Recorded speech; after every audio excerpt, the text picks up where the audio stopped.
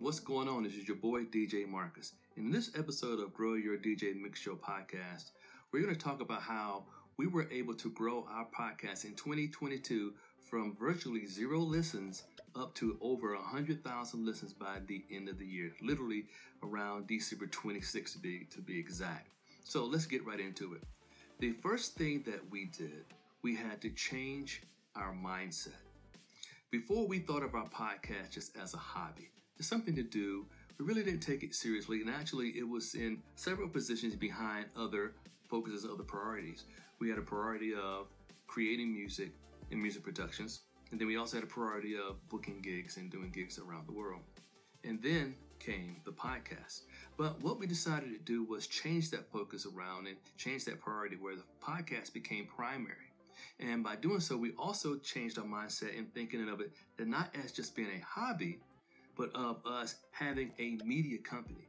As DJs um, doing our mix shows or as general podcasters, you are a media company. Now, what does that mean? That means that we're creating content. Yes, it's a DJ mix show, but it's also content.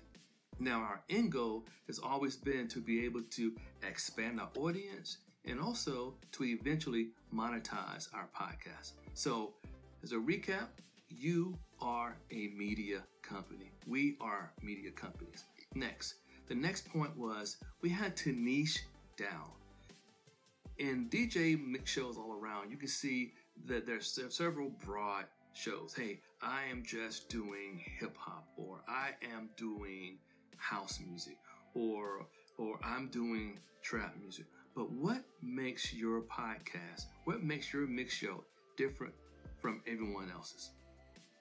If it's just like everyone else's, then why would someone go want to go and listen to yours when they can listen to those other five DJs over there? And remember, everybody's a DJ nowadays. You have you're battling against, rather, we're battling against all the professional DJs, all the touring DJs, and all the bedroom DJs that just got their equipment last week.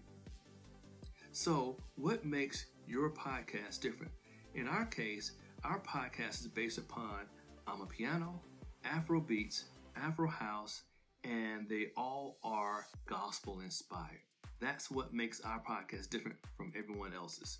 What can you do to make your podcast different? What can you do to niche down your your focus on your mix shows.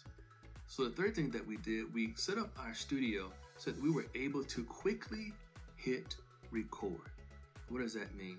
We don't have to go and set up all of our equipment, set our gear up, put the laptops here, uh, move the camera over there. We're able to, within 30 seconds, go straight into a mix and hit record and stream it online as well.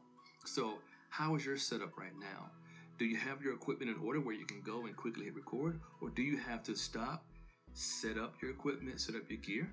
If that's the case, your goal should be to have a setup where you can quickly get to your mixes and get to your shows without any hindrances. We want the barrier to record to be very, very minimal. One thing I always say that efficiency yields effectiveness. So if your setup and your area is efficient, then your mix show and your time spent there will be effective. The fourth point is one of the most important points of this whole thing here, and this is actually something you really want to make sure you grasp. If you don't grasp anything else, grasp number four. And number four is consistency is the cheat code. Consistency is the cheat code.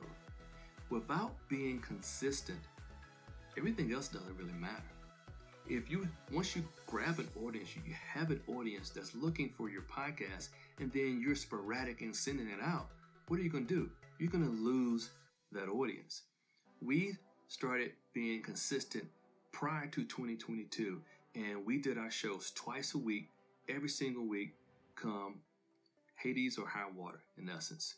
Even when my mother passed, I, I did a dedication show the week that she passed, and kept the consistency going. And that dedication show was one of our biggest shows of that of last year.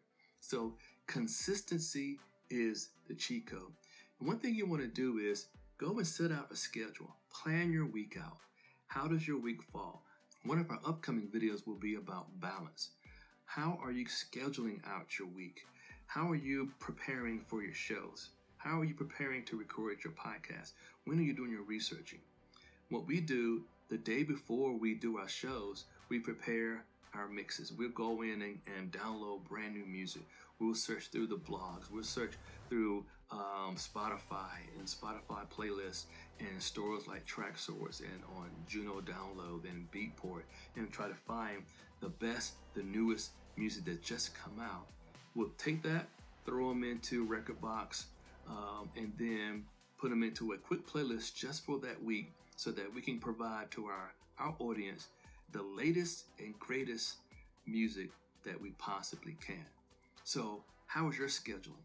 What are you doing? How, how do you prepare your week before you go into your podcast? Or are you just jumping up and just start playing music? If you if your goal is to provide your audience with the best and the latest, then you still need to do a little bit of legwork. So make sure you schedule it throughout the week and then most importantly, be consistent. If I can't stress it more, be consistent. The last point is a bonus point, but let's go back and recap. Number one, we changed our mindset from a hobby to a business. Number two, we niched down to provide a certain segment of a music audience, our podcast. Number three, we're able to quickly hit record because of how we have our studio set up. And number four, consistency is the cheat code. Now, once we implemented all those four strategies and had a great foundation, then we pulled up number five. And number five is social media ads. We consistently run Facebook and Instagram, TikTok, and YouTube ads to draw audiences to our podcast.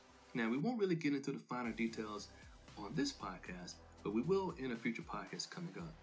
We structure targeting and retargeting campaigns and also build our email and messenger list of our audiences there.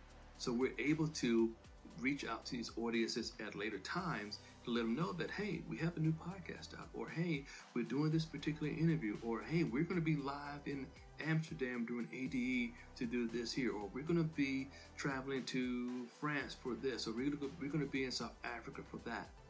We're able to build up our audience by utilizing these social media ads. Hey, this is your boy DJ Marcus, and I hope that you got something from our podcast today. Please remember to subscribe to this podcast in your favorite podcast provider. Go and search for Grow Your DJ Mix Show podcast, or also follow us on YouTube with our Grow Your DJ podcast video version there. Hey, this is your boy DJ Marcus, and until next week, God bless. Peace.